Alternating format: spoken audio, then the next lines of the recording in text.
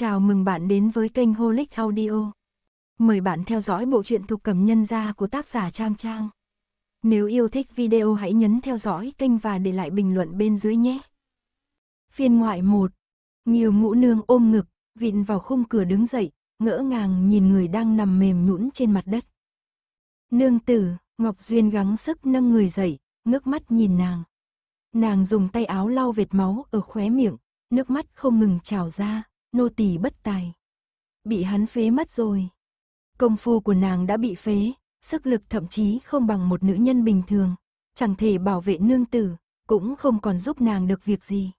Ngọc Duyên nhắm mắt đầy đau đớn, cố gắng kìm nén không bật khóc thành tiếng. Người duy nhất nàng tin tưởng, người duy nhất có thể giúp nàng đã bị phế. Giờ đây, nàng không còn cách nào bắt được Dương Tĩnh Nguyên nữa.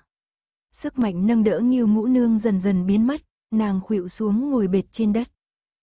Thịnh Phong Trạch từ từ tiến đến trước mặt nàng, nhìn nàng từ trên cao xuống. Dù đang che mặt bằng tấm khăn voan, như mũ Nương vẫn vô cùng xinh đẹp. Dù đã bị triệu gia đuổi đi, nàng vẫn không hề lúng túng. Nàng mặc bộ áo dài tay rộng màu xanh lam, tà váy xòe ra trên hành lang gỗ màu nâu đậm. Thân hình mỏng manh của nàng run rẩy nhẹ, như một dòng nước trong xanh lăn tăn gợn sóng, khiến người ta không khỏi thương xót. Ta biết nàng không cam tâm, Thịnh Phong Trạch nói một cách lạnh lùng. Móng tay nàng bấm sâu vào lòng bàn tay, như ngũ nương cảm nhận rõ từng cơn đau buốt. Nàng nghiến răng, cố kiềm chế sự thôi thúc muốn lao về phía Thịnh Phong Trạch.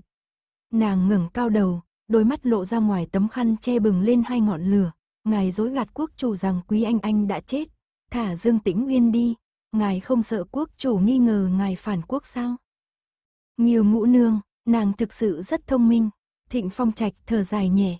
Năm nghìn quân của sử cuồng vây kín ngọn núi mà vẫn không tìm ra tung tích của Dương Tĩnh Uyên, thế mà người phụ nữ này lại sai tỷ nữ của mình phục kích chàng trên con đường nhỏ phía sau núi.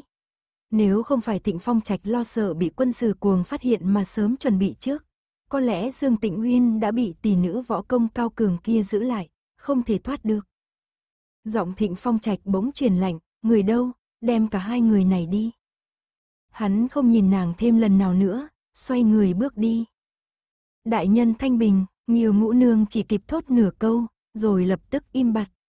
Nếu Du Ngạn vẫn còn bảo vệ nàng, làm sao Thịnh Phong Trạch có thể tìm thấy căn viện này mà bắt cả nàng lẫn Ngọc Duyên. Ngay cả Du Ngạn cũng đã phải nhượng bộ, nàng còn gì để dựa vào nữa. Hai tên lính kéo Nghiêu Ngũ Nương đứng dậy khỏi mặt đất. Buông ra, ta tự đi được. Nghiêu Ngũ Nương mạnh mẽ hất tay bọn lính ra, ngẩng cao đầu bước ra khỏi viện. Ra khỏi Thái Hòa Thành, đến ranh giới của Bạch Nhai Cung. Đoàn người dừng lại trước một căn viện mới xây bằng đá ở rìa sườn núi. Từ giờ, ngươi và tỷ nữ của ngươi sẽ ở đây. Nhiều ngũ nương ngạc nhiên nhìn Thịnh Phong Trạch đang ngồi trên lưng ngựa, ngài không giết ta. Môi Thịnh Phong Trạch dần nhếch lên, nở một nụ cười, lương thực và các nhu yếu phẩm sẽ được đưa đến. Nếu muốn sống tốt, người phải tự dựa vào chính mình. Bắt nàng sống ngay dưới sự giám sát của hắn, sống giờ chết giờ ở Nam Chiếu, thà để nàng chết đi còn hơn. Nhiều ngũ nương khinh bỉ nghĩ thầm, nàng không còn hy vọng sống nữa, lẽ nào chết lại khó đến thế. Dương Tình Uyên trước khi đi đã nói rằng một ngày nào đó, hắn sẽ dẫn quân san bằng Nam Chiếu. Khi xưa ngươi đã giúp ta, ta không phải là kẻ vong ân bội nghĩa, chẳng lẽ tâm nguyện hiện tại của ngươi không phải là gặp lại hắn một lần sao? Nói xong, Thịnh Phong Trạch thúc ngựa lên núi. Đoàn quân ầm ầm đi qua trước mặt Ngưu Ngũ Nương và Ngọc Duyên. Xích Hồ ở lại, dơ roi chỉ xuống chân núi, thấy tảng đá lớn kia không? Bước ra một bước, chém một nửa chân, chìa tay ra, cắt một nửa tay.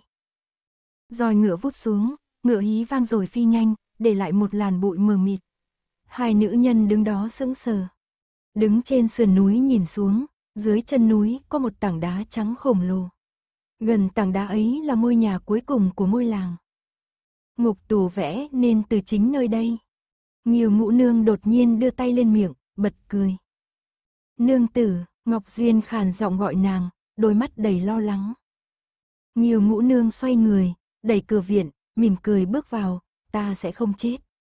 Ta phải sống, sống để nhìn Dương Tĩnh Uyên mang quân san bằng nam chiếu. Gió núi thổi tung tả váy, Ngọc Duyên ngây dại nhìn theo bóng lưng của nàng, quên đi cơn đau đang lan tỏa từ đan điền. Chỉ cần có thể ở bên nương tử như thế này, cũng đã là tốt rồi. Nơi núi sâu mới 10 ngày trôi qua, mà dường như ngoài kia đã trải qua cả nghìn năm. Những vết khắc trên tường viện đã phủ đầy rêu xanh, nhiều ngũ nương cứ đếm mãi, rồi mắt nàng dần hoa lên.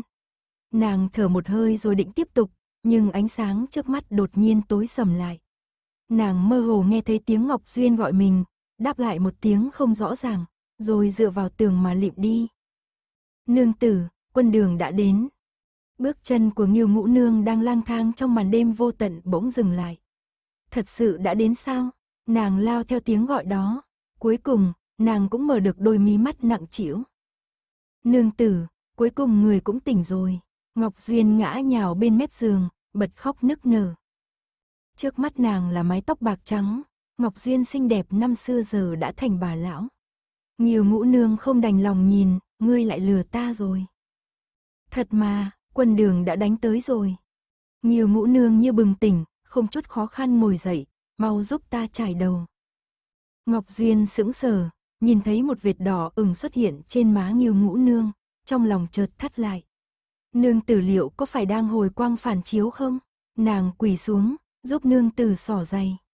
Chưa kịp đưa tay đỡ, Nghiêu Ngũ Nương đã tự đứng lên, đôi tay gầy guộc vuốt lại mấy sợi tóc lòa xòa, rồi bước ra ngoài cửa, không cần nữa, ta đi đây, ta đi ngay đây. Năm kiền nguyên thứ hai, quân đường vượt qua đại độ hà, thế tiến công mãnh liệt như trẻ tre. Nương tử, áo giáp minh quang, là quân đường. Đoàn quân đường tiến vào trung tâm Nam Chiếu, hàng ngũ chỉnh tề, kiêu hãnh đi ngang qua những người dân Nam Chiếu đang run rẩy quỳ sát đất. Phiên ngoại 2 Nhiều ngũ nương đứng thẳng lưng, tự hào vô cùng. Nàng là dân của đại đường, đây là quân đội của đại đường. Nàng quên đi những năm tháng đã qua, như trở lại làm ngũ nương của nhà đô đốc. Hai bà lão đang đứng, mặc áo dài tay rộng của người đường, thu hút ánh mắt tò mò của các binh sĩ đi ngang qua. Năm Thái Hòa thứ ba, Nam Chiếu tấn công Tây Xuyên, bắt đi hàng vạn người.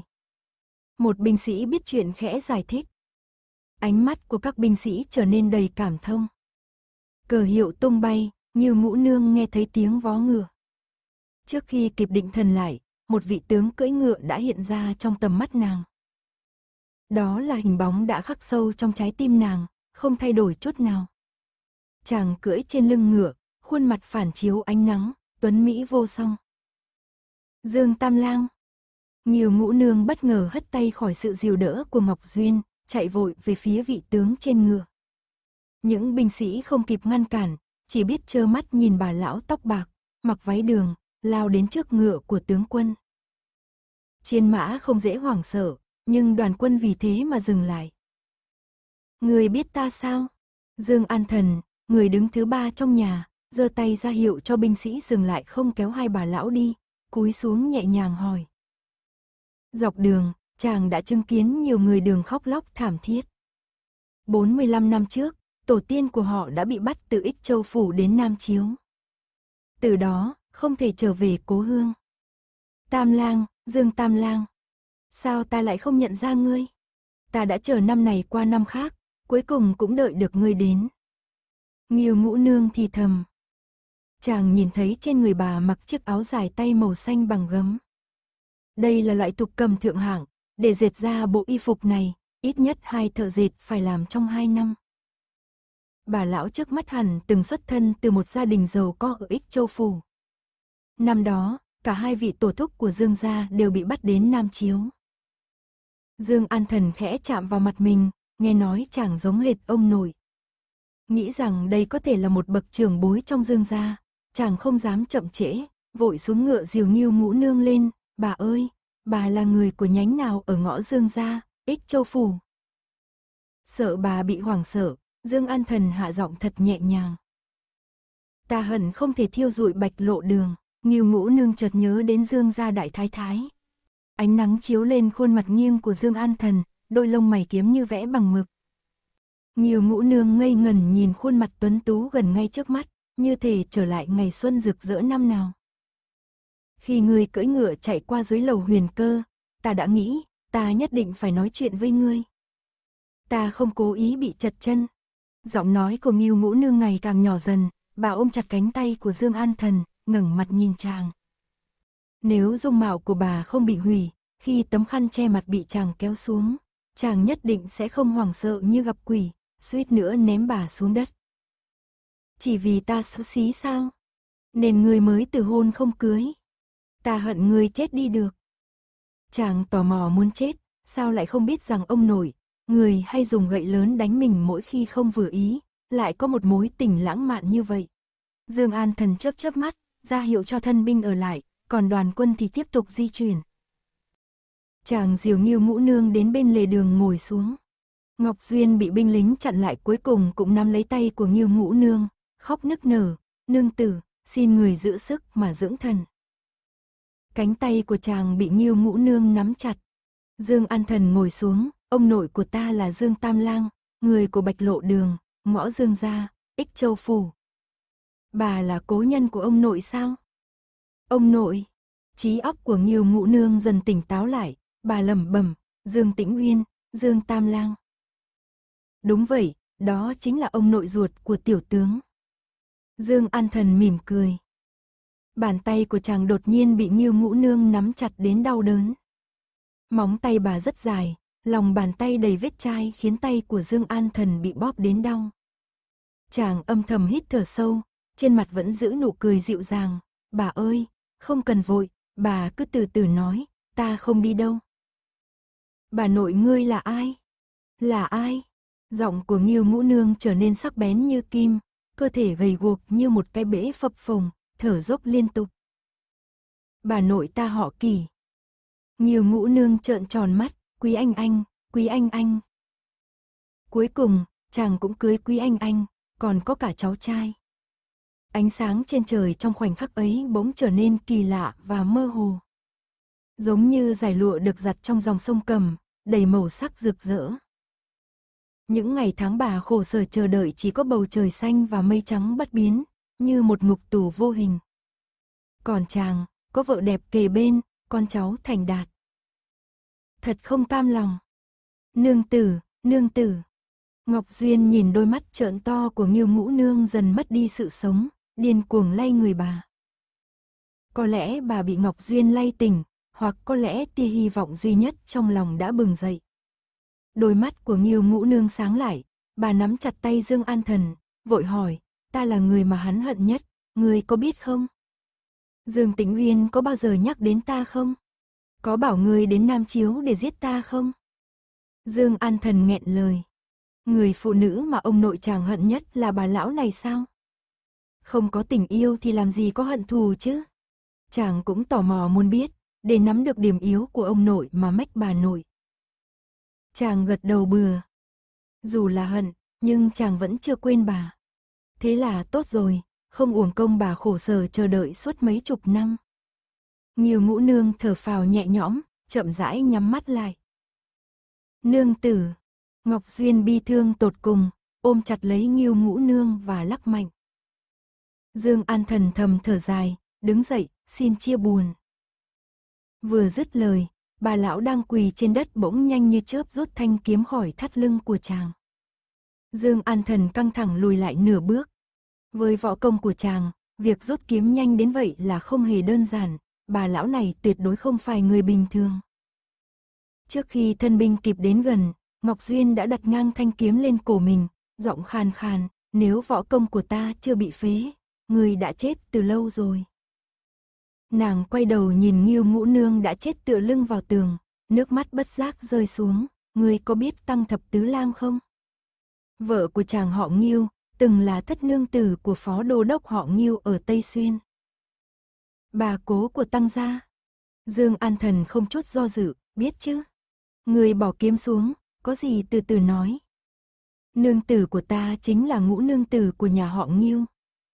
Ta phải đi theo hầu hạ nàng, xin ngươi chôn ta cùng nàng trong một mộ. Nương tử cả đời cô độc và khổ đau, ta không nỡ để nàng phải nằm dưới đất một mình. Ngọc Duyên nói, giọng mạnh mẽ vang lên, nếu không đồng ý, ta nhất định sẽ hóa thành lệ quỷ. Nói xong, nàng mạnh tay cắt một đường, máu từ cổ phun ra. Dương An Thần kinh ngạc đến sững sờ. Ngọc Duyên ngã xuống bên cạnh Nghiêu Ngũ Nương, tay đan vào tay bà, nhẹ nhàng nắm chặt. Nhìn hai bà lão đã chết bên đường, Dương An Thần một lúc sau mới thở dài, hóa ra bà chính là Ngưu Ngũ Nương, người mà bà cố của tăng gia luôn tìm kiếm, chị gái ruột của bà ấy. Chàng lệnh cho thân binh chôn cất cả hai người. Dương An Thần nhìn ngôi mộ nhỏ vừa mới đắp, nhớ lại lời nói của Ngưu Ngũ Nương, bất giác thấy thương xót cho Ngưu Thất Nương. Trước khi chàng lên đường, bà cố tăng gia đã dặn dò kỹ lưỡng, nhưng đến khi chết, Nghiêu Ngũ Nương chưa một lần hỏi đến bà cố. Thân binh Kỳ Tiểu Vân đi cùng Dương An Thần tiến lại gần, tự cho rằng đã hiểu rõ tâm tư của chàng, cười hì hì đưa ra ý kiến, Tam Lang Quân, nếu muốn biết chuyện của lão thái gia, ngài có thể về hỏi tăng thái phu nhân. Dương An Thần quay lại tát nhẹ lên chán hắn một cái, cười mắng, người chê gậy của lão thái gia không đủ cứng à? Dám tò mò về chuyện riêng của lão, cứ đợi đến lúc bị đòn thê thảm đi.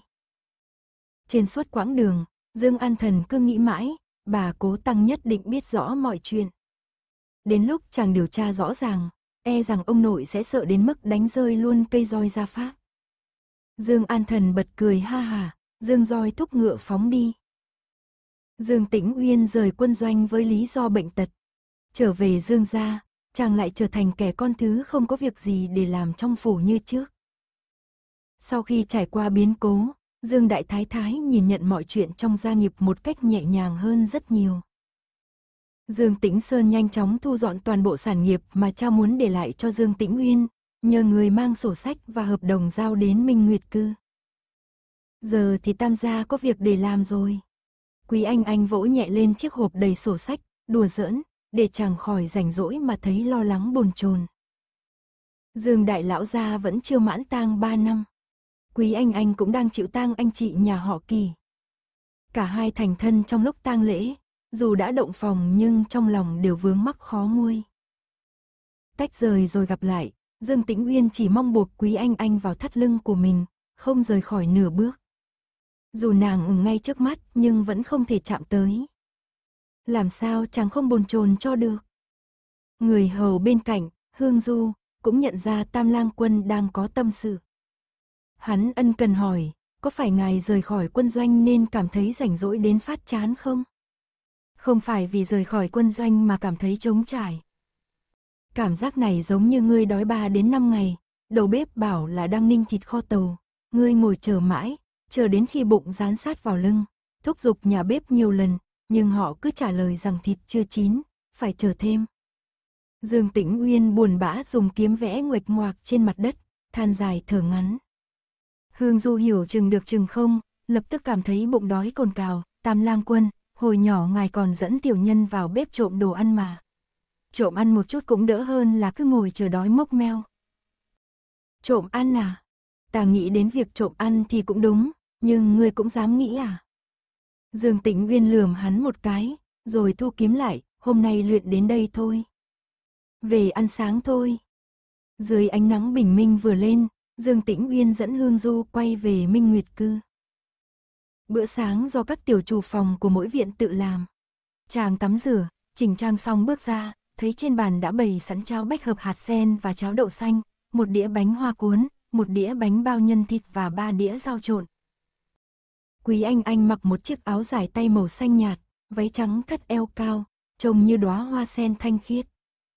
Khi nàng dọn bát đũa, tay áo trượt xuống đến khuỷu tay, để lộ đôi tay trắng ngần. Có thịt kho tàu thì tốt biết mấy. Dương Tĩnh Uyên bị ánh trắng dịu dàng từ cánh tay nàng làm chói mắt, chàng bĩu môi, lẩm bẩm khẽ. Quý Anh Anh múc cho chàng một bát cháo bách hợp rồi ngồi xuống, thắc mắc, chàng không ăn chay nữa sao? Trước đây, khi ở Thanh Thành Sơn, Dương Tĩnh Uyên đã nói với nàng rằng trong thời gian để tang 3 năm, chàng sẽ không ăn mặn. Bị Quý Anh Anh làm nghẹn lời, Dương Tĩnh Uyên chưa kịp nghĩ ra lời giải thích. Quý Anh Anh cho rằng chàng đã bị đại thái thái và hai anh trai trêu chọc, liền dịu dàng nhìn chàng và khẽ nói, hay là, để thiếp lén nấu cho chàng ăn. Nghe thấy nàng nhắc đến chuyện trộm ăn, mặt Dương Tĩnh Uyên đỏ bừng, tim đập như trống rồi, có cảm giác tâm tư của mình bị Quý Anh Anh nhìn thấu. Chàng xấu hổ, vội cầm bát lên che mặt, uống hết bát cháo trong vài ngụm rồi đứng dậy, ta đi luyện kiếm thêm chút nữa. Ôi, để mai luyện tiếp cũng được. Đại ca đã gửi sổ sách và khế ước đến mà chàng còn chưa xem qua nữa. Quý anh anh vội gọi chàng lại. Ngoài kia, các quản gia và trại chủ vẫn đang đợi để ra mắt chủ mới. Có mấy thùng sổ sách, khế ước mà chàng còn chưa mở phong bì ra xem. Dương Tĩnh Uyên phải xem qua tất cả trước khi chuyển giao và ký tên với Dương Tĩnh Sơn. Chàng đâu có thời gian để lãng phí một ngày luyện kiếm nữa. Nhắc đến sản nghiệp mà cha để lại, sự lúng túng trong lòng Dương Tĩnh Uyên tan biến. Chàng ngồi xuống lại, thúc giục Quý Anh Anh dùng bữa, ăn xong ta có chuyện muốn bàn với nàng. Sau khi dùng bữa xong, hai vợ chồng ngồi riêng trong thư phòng. Dương Tĩnh Uyên mở lời, anh anh, ta không định nhận lại những sản nghiệp này. Chàng có chút băn khoăn. Nếu không có sản nghiệp này, chàng sẽ tay trắng. Quý anh anh sẽ phải cùng chàng chịu khổ. Chàng định ra ở riêng à? Quý anh anh một lời đã nói trúng tâm sự của Dương Tĩnh Uyên. Dương Tĩnh Uyên giải thích, cây lớn phải chia nhánh, ta là con thứ, vốn dĩ nên ra ở riêng. Ta là con thứ, nên gì không để lại của hồi môn gì cho ta. Cha vốn dĩ cũng không có tài sản riêng, tất cả tài sản là của Dương gia, ta nhận được nông trang dưới chân núi Thanh Thành đã là đủ rồi. Chàng dừng lại, rồi tiếp nàng yên tâm, ta sẽ nuôi được nàng. Được, quý anh anh thầm nghĩ, dù nàng và đại thái thái đã hóa giải mọi hiềm khích trước đây, nhưng quy củ trong dương gia đại trạch vẫn còn đó. Nếu hai vợ chồng ra ở riêng, tự quản lý gia đình, sẽ thoải mái hơn nhiều. Nghe nàng đồng ý dứt khoát, Dương Tĩnh Nguyên lại có chút do dự, chàng đưa tay bế nàng ngồi lên đùi mình, nghiêm túc nói, nàng không hối hận chứ. Sau này có khi ta chỉ có thể trồng mấy mẫu đất của nông trang, không thể chu cấp cho nàng mặc lụa là gấm vóc nữa. Quý anh anh cười rạng rỡ, ôm lấy cổ chàng và nói, ai bảo chỉ có trồng đất mới kiếm được tiền.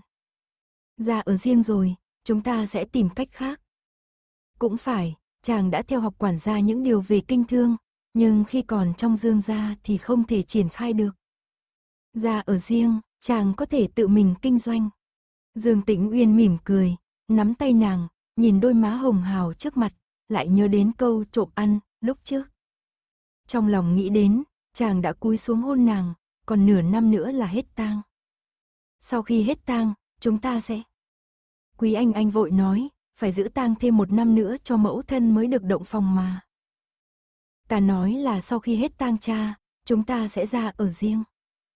Quả nhiên, đối diện với ánh mắt vừa ngượng vừa giận của quý anh anh, Dương Tĩnh Uyên càng trở nên nghiêm túc hơn, nghiêm nghị nói, nàng đang nghĩ vớ vẩn gì thế hả? Cảm ơn bạn đã ghé thăm kênh Holic Audio, phiên ngoại 3. Ta suy nghĩ lung tung thế này sao? Có giữ liêm sỉ không chứ?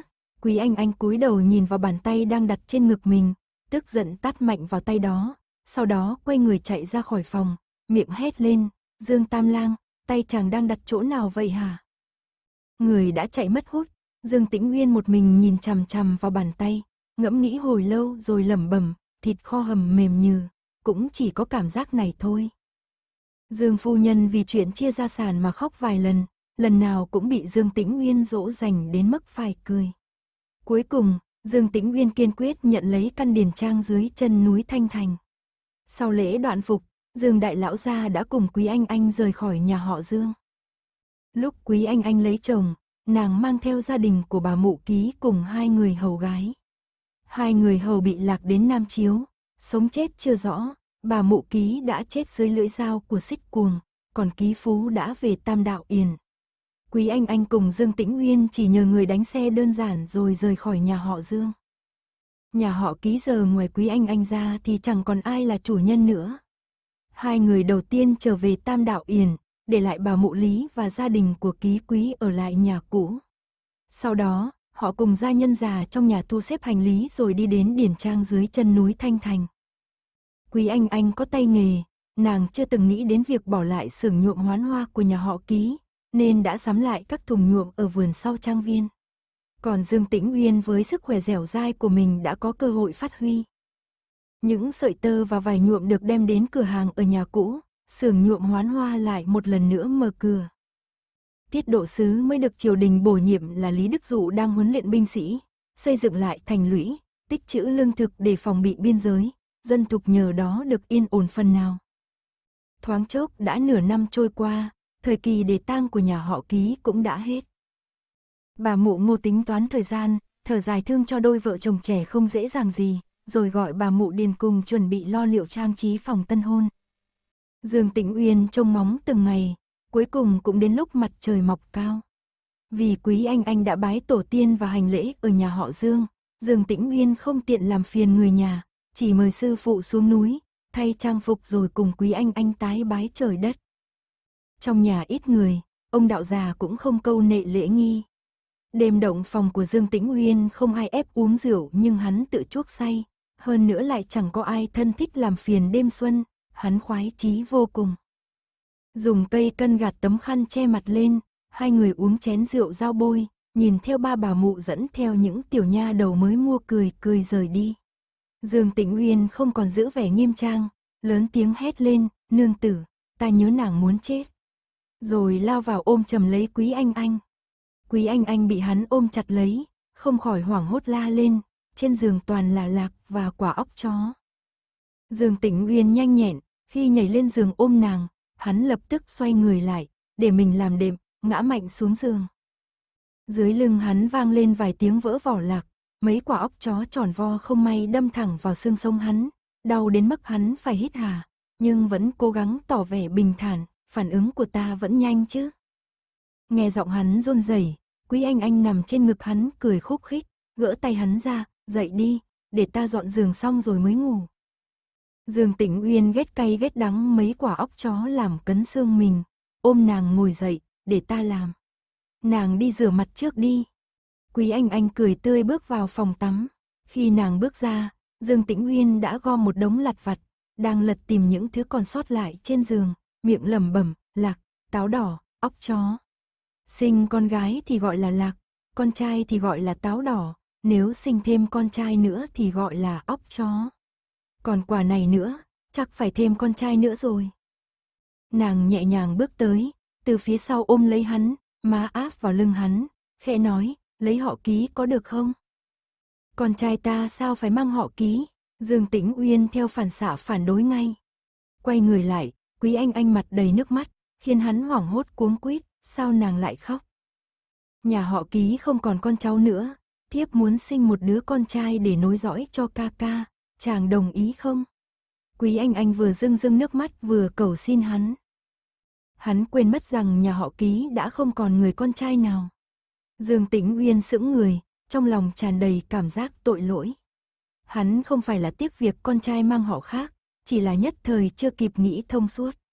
Ngay khoảnh khắc hắn đang ngẩn người, Quý Anh Anh bất ngờ vung tay lau nước mắt, bộc lộ sự mạnh mẽ của một thiếu nữ đất thục thời đại đường. Chàng đồng ý thì thôi, nếu không, chẳng có lạc, táo đỏ hay óc chó gì cả. Dọa hắn sao, có tác dụng không? Dương Tĩnh Uyên mắt tràn đầy niềm vui, cười nhẹ, tháo thắt lưng, cởi y phục rồi thành thơi nằm dài trên giường, nhướng mày gọi quý anh anh, chuyện gì cũng có thể bàn bạc. Vì phù không ngại cho ký ra một đứa con trai, nhưng việc nương tử có sinh được hay không, vi phu không biết đâu. Quý anh anh cắn môi, xoắn vạt áo hồi lâu, ánh mắt liếc qua lại với Dương Tĩnh Nguyên một hồi lâu, cuối cùng quyết định, ngẩng cao đầu, tự tin bước lên giường, mắt dịu dàng nói, vậy thì thử xem sao. Trong một thời gian dài, Quý Anh Anh cứ lạc vào trong những giấc mơ. Nàng nhìn thấy mẹ mình đâm một nhát vào người anh trai.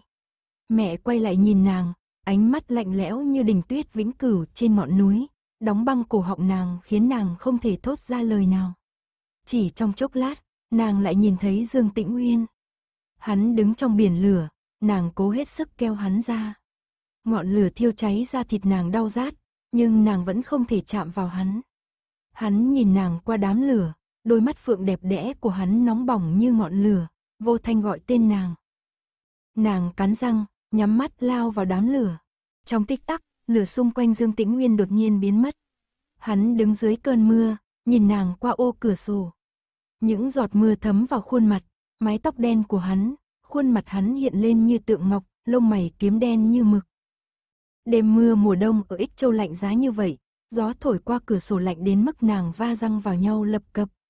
Hắn mở áo choàng rồi ôm chặt nàng vào lòng, hơi ấm từ ngực hắn lan tỏa dần lên khuôn mặt nàng, cái lạnh tan biến. Quý Anh Anh thoải mái thở ra một hơi, vô thức chìm vào giấc ngủ sâu. Nhìn thấy đôi mày của nàng dần giãn ra, Thịnh Phong Trạch cũng thở phào nhẹ nhõm. Trong làn hơi nước lờ mờ, gương mặt trắng bệch của Quý Anh Anh hồng hào trở lại.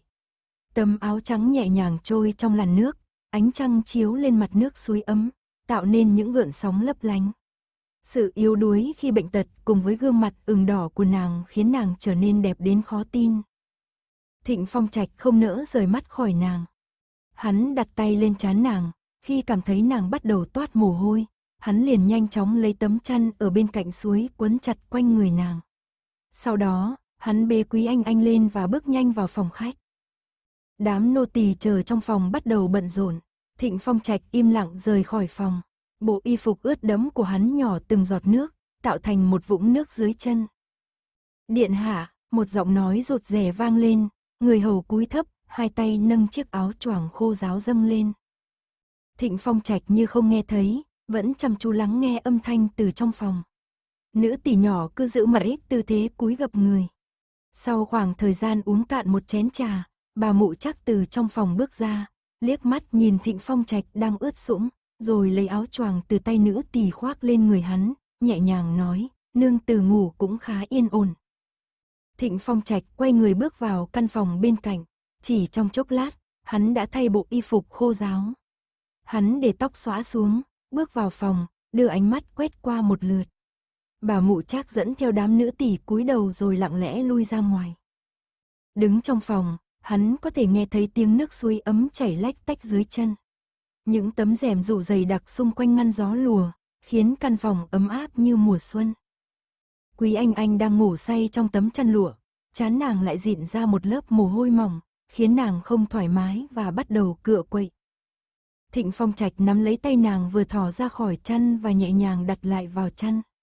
Rất tự nhiên, hắn nhấc chân trèo lên giường tre, ôm cả người và chăn vào lòng. Bà mụ chắc đích thân bưng bát thuốc vào, rồi lại lặng lẽ lui ra. Bà không nhịn được mà len lén nhìn một cái. Trong ánh sáng mờ mờ chiếu qua rèm, bóng dáng của chủ nhân hiện lên rõ ràng, hắn đang từng thìa từng thìa cho quý anh anh uống thuốc. Bà kinh ngạc trong lòng, vội vàng bước nhanh ra khỏi phòng, đưa ánh mắt sắc bén nhìn bốn nữ tỷ đang đứng chờ ngoài hành lang, thấy họ cúi đầu càng thấp, bà mới hài lòng gật đầu. Trải qua bốn ngày dài, cuối cùng Quý Anh Anh cũng hạ sốt và tỉnh lại từ cơn mê man. Khi tỉnh dậy, nàng nhìn thấy đôi mắt đỏ hoe vì thức đêm của Thịnh Phong Trạch. Hắn mỉm cười với nàng, rất tự nhiên đặt tay lên trán nàng để kiểm tra nhiệt độ rồi đứng dậy, tỉnh lại rồi thì không còn gì đáng lo nữa. Chưa kịp để nàng mở miệng, hắn đã vén rèm và rời khỏi. Bà mụ trác dẫn theo các nữ tỳ lần lượt bước vào. Giọng của quý anh anh yếu ớt như tơ, bà mụ, ta đã ngủ bao lâu rồi?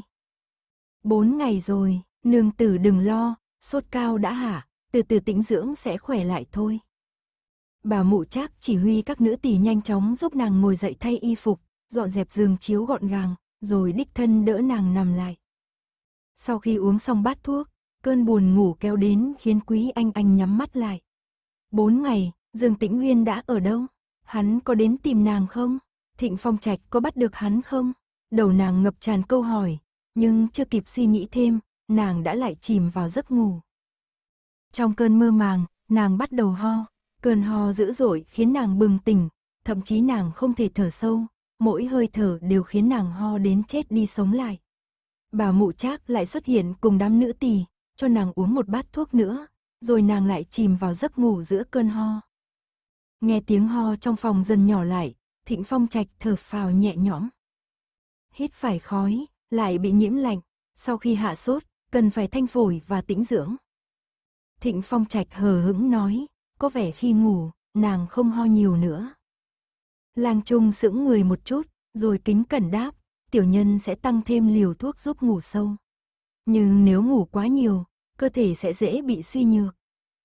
Thịnh Phong Trạch liếc mắt nhìn ông ta, khiến Lang Trung vội vàng bổ sung, trước tiên phải chữa khỏi bệnh, sau đó mới từ từ tĩnh dưỡng, như vậy sẽ không có gì nghiêm trọng. Chỉ là sẽ tốn thêm thời gian thôi. Thời gian, thứ mà hắn không bao giờ sợ phải tiêu tốn chính là thời gian. Ánh mắt của Thịnh Phong Trạch trở nên u ám. Không biết đã ngủ bao lâu, Quý Anh Anh lại bị đút thêm một thìa thuốc vào miệng. Vị đắng làm nàng mơ màng muốn lắc đầu từ chối, nhưng không thể cựa quậy được. Mỗi khi nàng có chút tỉnh táo, nàng lại nhanh chóng chìm vào giấc ngủ mê man. Thỉnh thoảng có những âm thanh vang lên xung quanh, chúng mơ hồ bay trong không gian, khiến nàng không nghe rõ được gì. Trong cơn mê man, mỗi khi nàng ho, luôn có một đôi tay nhẹ nhàng vỗ về lưng nàng. Đó là ai? Trong tâm trí mờ ảo của Quý Anh Anh, gương mặt của Dương Tĩnh Uyên hiện lên, nhưng rồi lại lập tức biến thành Thịnh Phong Trạch. Cơ thể nàng ngày càng nhẹ hơn, trong giấc ngủ nàng cũng gầy yếu đi. Khi Thịnh Phong Trạch nghe thấy tiếng ho của nàng giảm dần, hắn cuối cùng đã ra lệnh bớt đi vị thuốc, khiến nàng mê man. Hắn cẩn thận ôm nàng vào lòng, nhìn chằm chằm vào chiếc cằm nhọn của nàng, khẽ nói, lần cuối cùng. Lần cuối cùng, khi nàng không còn biết gì nữa, hắn ôm nàng vào lòng. Sau gần một tháng ngủ ly bì, cuối cùng Quý Anh Anh cũng tỉnh lại. Người đầu tiên nàng nhìn thấy khi tỉnh dậy là bà mụ trác. Nàng liếc nhìn xung quanh một lượt, rồi lại hạ thấp mi mắt. Nương tử cơ thể còn yếu, tĩnh dưỡng thêm vài ngày nữa là có thể xuống giường được rồi. Bà mụ trác mỉm cười nói. Phải thêm nửa tháng nữa nàng mới có thể xuống giường và bước ra khỏi phòng. Lúc đó, gió đã trở nên ấm áp, ánh nắng mùa xuân ở Nam Chiếu rực rỡ hơn bao giờ hết. Quý anh anh không cần hỏi cũng biết mình đã ốm rất lâu. Bên tường, những đóa hoa giấy đang nở rộ rực rỡ. Nàng ngồi trong hành lang, ngắm nhìn hồ nước suối nóng mà ngẩn ngơ. Tâm trí nàng khẽ dao động, quay đầu lại, nàng nhìn thấy bóng dáng một bộ áo đen lướt qua giữa các tòa lầu phía xa, rồi nhanh chóng biến mất sau những cột hành lang. Những ngày qua, đều nhờ bà mụ chăm sóc cho ta. Thật sự làm phiền bà quá.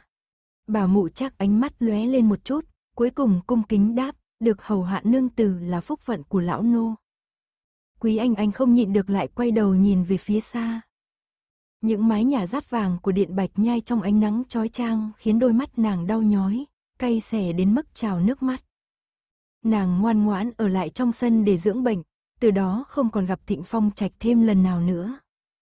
Mùa xuân đi qua, mùa hạ đến, Quý Anh Anh đã hoàn toàn hồi phục sức khỏe. Mặt trăng mùa hè tròn và sáng rực, phản chiếu rõ ràng trên mặt nước. Nàng thường đứng bên hồ, nhìn vào mặt nước mà ngẩn ngơ. Giúp nàng khoác áo choàng và đưa nàng trở về phòng nghỉ ngơi. Đoàn sứ giả Nam chiếu đến đại đường để dâng quốc thư xin lỗi sẽ khởi hành vào ngày mai. Hắn đã dặn dò bà mụ chắc thông báo cho nàng biết. Ngày mai, nàng sẽ cải trang thành tỷ nữ của hắn và khởi hành đi đại đường. Đây là đêm cuối cùng nàng ở lại Nam Chiếu. Trăng 15 tròn đầy vào đêm 16, bầu trời xanh thẳm và trăng đêm nay sáng rực như một chiếc đĩa ngọc. Trong nước hồ phản chiếu hình ảnh trăng tròn và mái nhà. Thịnh Phong Trạch ngồi như thể đang giữa vầng trăng, bóng dáng hắn hiện lên rõ ràng. Quý Anh Anh đứng bên bờ hồ, nàng không nhớ đây là đêm trăng sáng thứ mấy, cũng quên mất lần nào nàng tình cờ nhìn thấy bóng hắn trong làn nước. Ngày mai, hắn sẽ làm theo lời hứa, đưa nàng về đại đường. Từ đó, họ sẽ không còn gặp lại nhau nữa. Quý Anh Anh đưa tay ra, nàng nhìn thấy ngón tay mình run rẩy lướt qua không trung, dừng lại trên gương mặt hắn. Tim nàng đập nhanh và đau đớn vô cùng, bàn tay nàng yếu ớt rơi xuống, lần này, nàng không chờ đến khi trăng lên đỉnh đầu hay đợi tiểu tỳ mang áo choàng đến, nàng quay lưng và rời đi. Phiên ngoại 4 Thịnh Phong Trạch bỗng vội vã đứng bật dậy từ trên mái nhà khi người kia đột ngột rời đi. Hắn ngay lập tức nhìn thấy bóng hình trong hồ nước thay đổi. Hắn ngẩn người, nỗi cay đắng từ đáy lòng dâng trào lên mũi. Đêm ấy, tiếng sáo hồ lô ngân nga suốt cả đêm dài trong cung bạch nhai. Đêm mỗi lúc một khuya, trên bầu trời Ích Châu luôn là lớp mây dày nặng, che lấp cả sao trăng. Ngẩng đầu nhìn lên, chỉ thấy màn đêm đen đặc chắn hết tầm nhìn. Quý Anh Anh mặt đỏ bừng, khẽ đẩy Dương Tĩnh Uyên ra khỏi cửa phòng. Anh anh, ngủ ngon nhé. Anh anh. Dương Tĩnh Uyên khẽ cười, buông tay khỏi cánh cửa, lùi lại một bước, mai gặp lại nhé. Hắn vẫn chưa đi ngay, Quý Anh Anh mím môi cười, đứng đó một lúc rồi bước tới bàn, thổi tắt ngọn đèn. Một lúc sau nàng mới nghe thấy tiếng bước chân của Dương Tĩnh Uyên dần xa trên hành lang gỗ.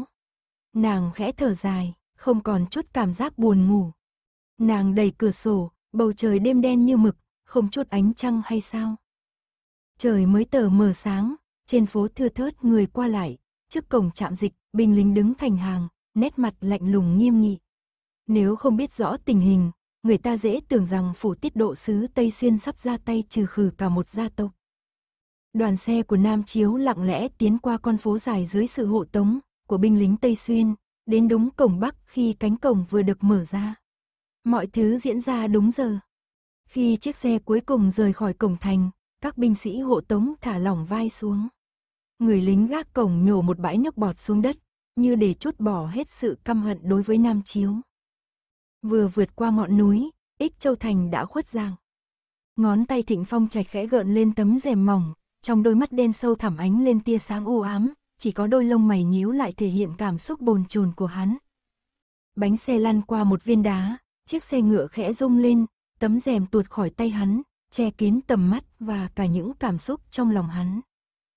Khi trở về từ Trường An, đã là mùa thu năm sau. Đoàn sứ thần bị chặn lại ở bên ngoài cổng Bắc, quan viên phủ thái thú đến gặp đoàn, lời lẽ vòng vo, trời đã tối, xin mời đoàn nghỉ tạm ngoài thành một đêm, sáng mai hãy vào. Chưa quá trưa, nắng thu ấm áp vẫn còn trên đỉnh cây, đoàn chỉ cách thành chưa đến 10 dặm. Các sứ thần ai nấy đều tức giận, đến hoàng đế đại đường còn rộng lượng tuyên bố, hai nước đời đời giao hảo đối xử như thượng khách, thế mà phủ ích châu nhỏ bé lại dám bất kính như vậy. Hôm nay có phải là mùng 9 tháng 10 không? Thịnh Phong Trạch đột nhiên hỏi. Xích hổ gật đầu, đúng rồi. Thịnh Phong Trạch phớt lờ cơn giận của các sứ thần, lạnh lùng ra lệnh hạ trại ngay tại chỗ. Sáng mai, đoàn sẽ băng qua thành, không dừng chân ở trạm dịch. Các quan viên phủ Ích Châu lập tức tươi cười. Nỗi đau chiến tranh dần lắng xuống theo thời gian, nghề dệt gấm của Ích Châu một lần nữa được hồi sinh. Vào ngày mùng 9 tháng 10, tiết độ sứ đích thân đến Cẩm Lý, quan phủ tài trợ, dựng đài đấu gấm. Những gia đình dệt gấm may mắn sống sót sau biến cố lớn đều đầy xúc cảm, gặp nhau cung kính cúi chào hỏi thăm. Sau thảm họa, họ đã mất đi nhiều thợ thủ công và truyền nhân tài giỏi. Cuộc đấu gấm năm nay mang ý nghĩa rất đặc biệt. Trong ngoài cẩm lý, trước đài đấu gấm, người đông nghịt như chảy hội. Dương Tĩnh Uyên đưa Quý Anh Anh vào phòng riêng của nhà họ Dương. Dương Đại Thái Thái vui mừng nắm lấy tay Quý Anh Anh, nét dạng dỡ hiện rõ trên gương mặt. Quý Anh Anh thầm hiểu, năm nay nhà họ Dương vừa hoàn thành gấm hoán hoa, đúng dịp sẽ giới thiệu nó tại cuộc đấu gấm này. Khi mọi người đang trò chuyện, một tiếng cổng vang lên, tiết độ sứ đích thân tuyên bố khai mạc cuộc đấu gấm. Quý Anh Anh nhìn thoáng qua Dương Tĩnh Uyên đang trò chuyện vui vẻ cùng hai người anh trai, rồi nàng đỡ Dương Thạch Thị bước đến bên cửa sổ. Cát Lục Nguyệt đích thân dệt gấm thạch lựu đa tử.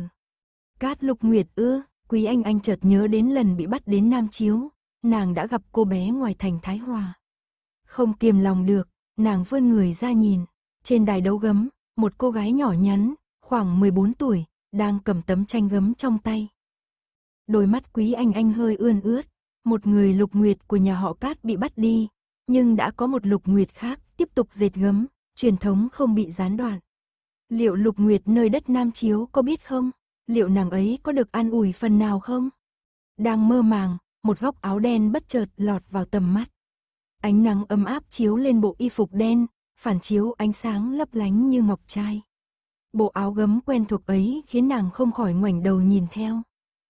Giữa đám đông, một người mặc áo đen, đội nón che mặt, đang tựa vào cột đứng lặng. Thời gian như ngừng trôi trong giây lát, Tấm mạng mỏng che đi ánh nhìn chăm chú đầy khao khát của Thịnh Phong Trạch.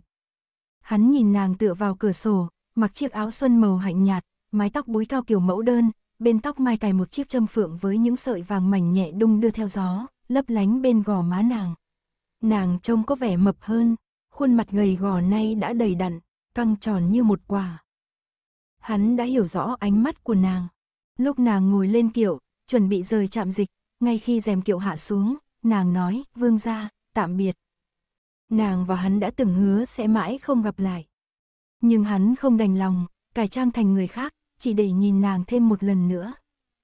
Nhà họ rôn ra mắt gấm hoán hoa mới. Trên đài, tiếng hô vang dội thông báo gấm mới của nhà họ Dương. Gấm bốn mùa thiêu hoa, đẹp lộng lẫy như dòng gấm trôi trên sông, rực rỡ và kiêu sa. Nhà họ Dương lại ra gấm mới rồi. Gấm hoán hoa, tên nghe thật mỹ miều. Nhà nàng gần suối hoán hoa, lần đầu hắn gặp nàng, nàng trong tình trạng thảm hại. Hắn cứu nàng, và từ đó, hắn đã trao cả trái tim mình.